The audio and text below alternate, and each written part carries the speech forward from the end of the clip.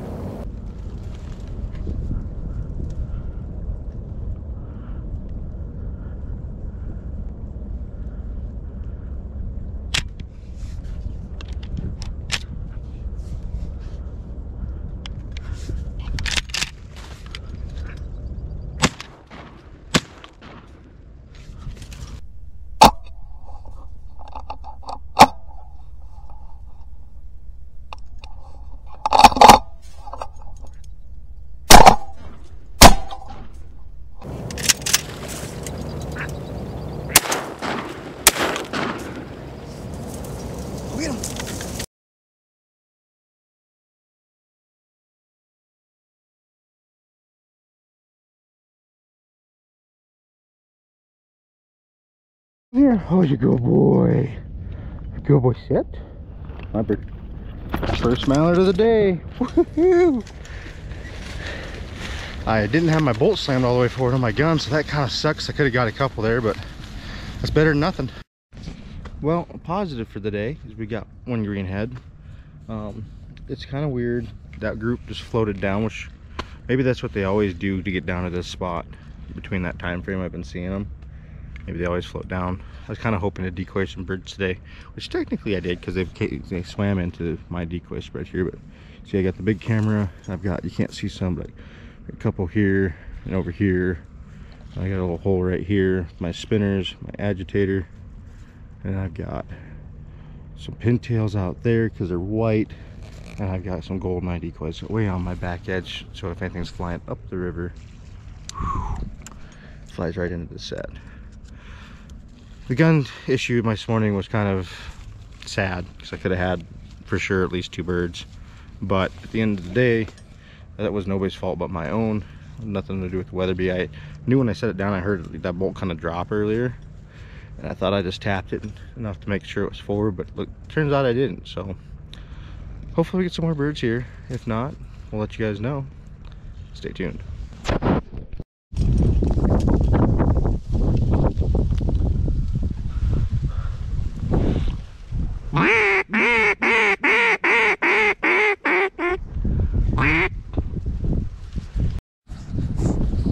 They were just flying down the river. They never even gave us a second look.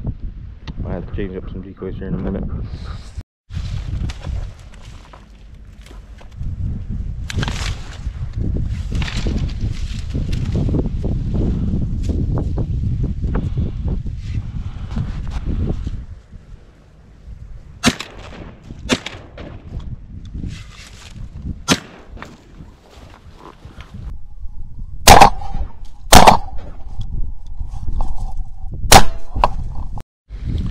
Well, that was slightly frustrating and nobody's fault but my own. This time, as you guys saw, got cut up in this brush. The hide over here is just, there's no good spot to hide. I'm trying to tuck myself up in this little cubby when they come in. And it's worked so far, but then there's the hard part of getting all this stuff on your gun, shooting from a position that's not the greatest. Kind of is what it is at this point in time. So it's kind of a bummer. I like my hide more, my spot downriver from here, but the ducks want to be up here, so can't hunt down there. I might just cry after that one. I just missed a stud widgeon, which are my favorite bird, and I just missed them. I changed up where I was sitting a little bit. I was sitting, have this in the way. So I'm really like limiting my shooting window, but I want to be in the shade so I don't want them to see me. Remy, lay down. So we're gonna try. I moved over. I'm only like two feet, but maybe that'll help. I should have had those widget ice My hide's better, but my shooting opportunities are not. I don't know which way guys should try to make a better hide. Or make it so you can actually shoot birds.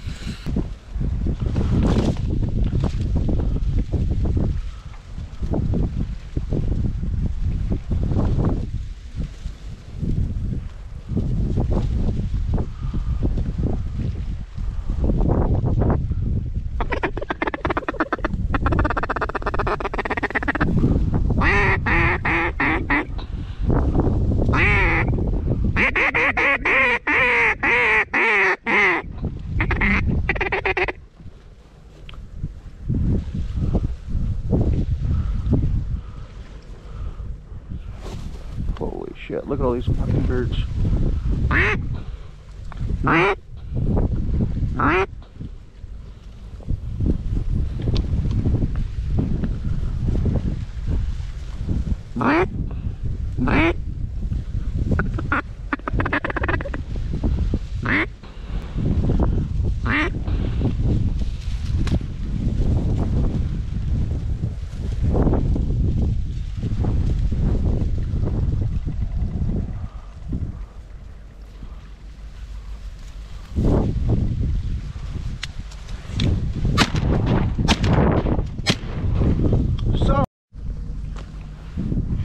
This might be one of my worst shooting duck hunting days of all time. Those two were tight, like 10 yards. I missed them. Oh my goodness. I don't know what's going on today with me. I just, not good. And there was a bunch of birds there. Those two did it perfect. I, just, I don't even have words right now. That was just bad. Just bad on my part.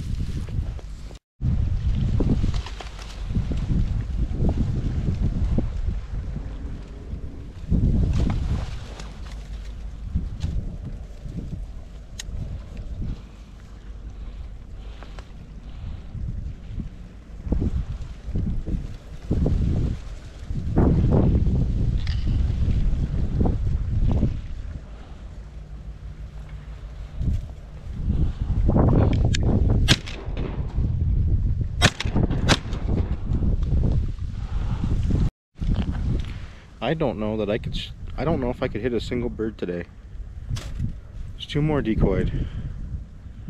If I do that again, I guess I'm just gonna call it because there's no point in scaring all the birds if you can't hit one. I don't know. I don't know what's up with me today. I'm just not, not shooting well.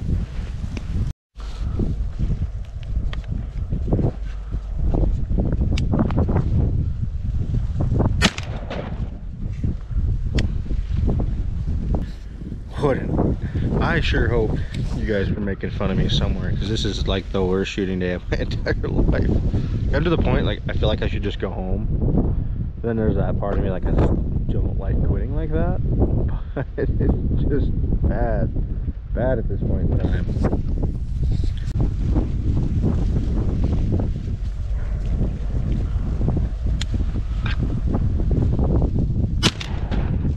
Catch him up, Remy, go get him! Hunt him up! Go get him. Finally got one.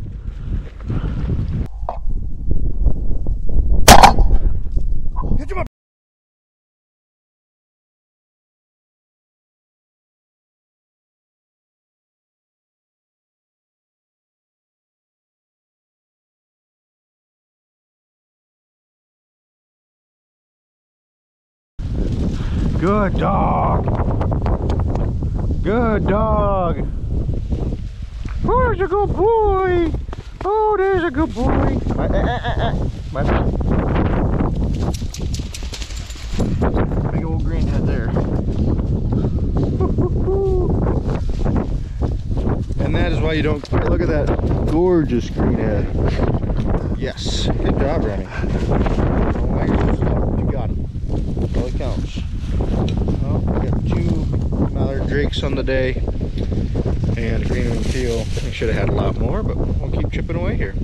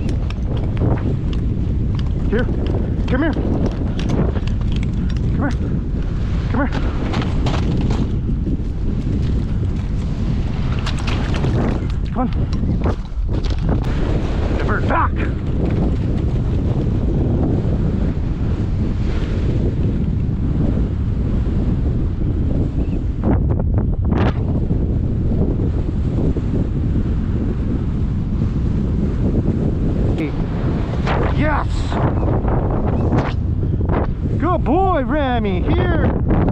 Good boy. Good boy, Remy. Good boy, Remy. Good boy. Good boy here. Come here, good dog. Who's a good boy? Who's a good boy? Oh, look at that dog. Here, no, come on. Come here. Come here. My bird, good boy. Oh, what a stud.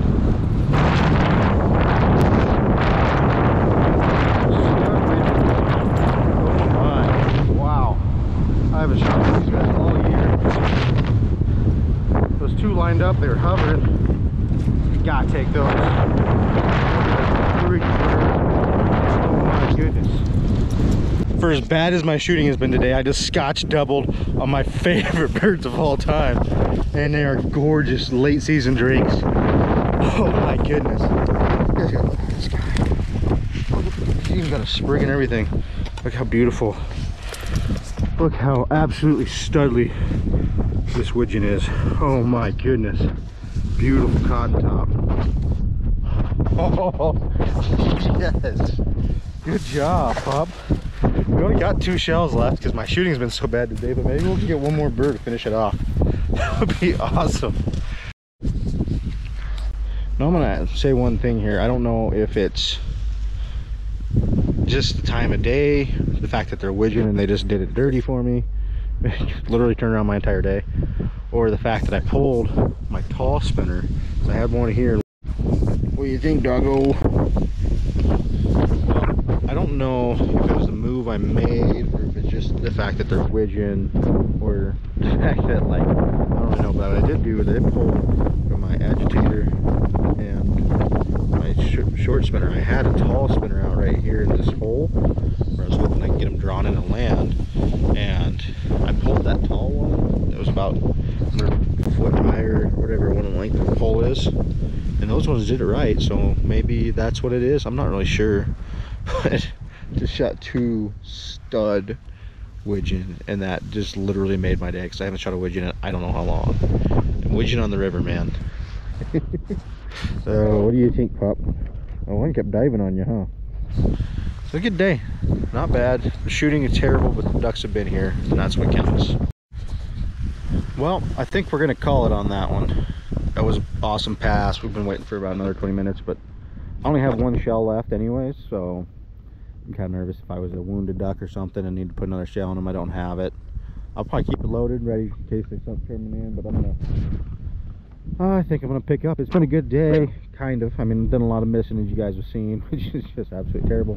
I do have, I'll caveat my missing saying, I've got like a 30 mile an hour crosswind, so that's not terribly easy to hunt in, but he's been doing okay today. Not terribly great, but eh, it is what it is. I training on him is my fault at this point in time because I've taught him to be more watching me than watching the birds fall and kind of making sure he's hidden but that's what it is. So if you guys like this video hit that like and subscribe button. We're going to start doing giveaways on Bucking Duck gear every new 100 subscribers.